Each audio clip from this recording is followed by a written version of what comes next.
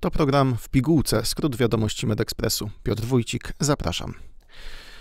To centrum i cała krajowa sieć onkologiczna ma służyć Polakom i będzie dobrym uzupełnieniem całej naszej oferty medycznej, powiedział premier Mateusz Morawiecki podczas uroczystego podpisania umowy na budowę nowego szpitala onkologicznego we Wrocławiu. Pierwsi pacjenci mają trafić do placówki w 2028 roku. Inwestycja ma zapewnić kompleksową opiekę nad pacjentami. Aktualnie podobne usługi realizują aż trzy różne instytucje we Wrocławiu. Dolnośląskie Centrum Onkologii, Dolnośląskie Centrum Chorób Płuc i Dolnośląskie Centrum Transplantacji Komórkowych. Dzięki nowemu szpitalowi możliwe będzie leczenie z zakresu onkologii, hematologii i chorób płuc w jednym miejscu. W całym kraju w ośrodkach onkologicznych pomagają pacjentom specjalni koordynatorzy, napisał na Twitterze minister zdrowia Adam Niedzielski. Zatrudnienie koordynatorów onkologicznych to jeden z kluczowych elementów zapisanych w ustawie o Krajowej Sieci Onkologicznej. Koordynator, zgodnie z założeniami ustawy, ma wspomagać pacjenta w procesie leczenia i zadbać o to, by miał on dostęp do kompleksowej terapii w swoim miejscu zamieszkania. Obowiązek zatrudniania i wyznaczania pacjentom koordynatorów mają wszystkie podmioty, które znalazły się w Krajowej Sieci Onkologicznej.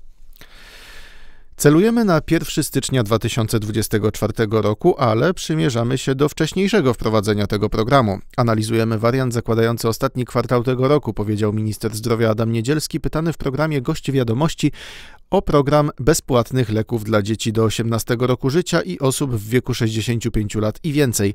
Minister zapewnił, że są pieniądze na realizację tego programu. Gwarantem jest systematyczne zwiększanie nakładów na system ochrony zdrowia. Będzie to kosztować od 1,5 do 2 miliardów złotych.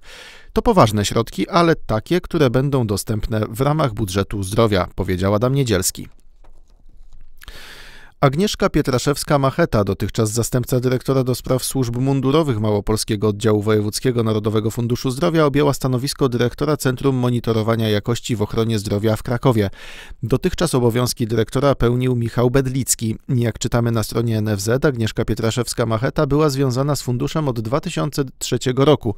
Udziela się także naukowo, prowadzi kursy, szkolenia i wykłady dotyczące funkcjonowania systemu opieki zdrowotnej, w szczególności finansowania świadczeń opieki zdrowotnej ze środków publicznych. Zastępcą dyrektora do spraw służb mundurowych w Małopolskim Oddziale Wojewódzkim NFZ została w 2016 roku. Od 2 października 2020 roku przez półtora roku pełniła obowiązki dyrektora zachodniopomorskiego Oddziału Wojewódzkiego NFZ.